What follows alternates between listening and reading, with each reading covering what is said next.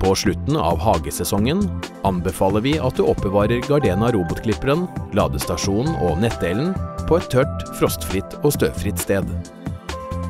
For å beskytte kablene mot oksidasjon må du fjerne kontaktklemmene og stikke kablene inn i et av skjøtestykkene. De inneholder fett og beskytter mot fuktighet som skader kabelender. I tillegg til denne filmen finner du mer detaljert informasjon i bruksanvisningen. Se også etter nyheter på Gardenas nettside www.gardena.com.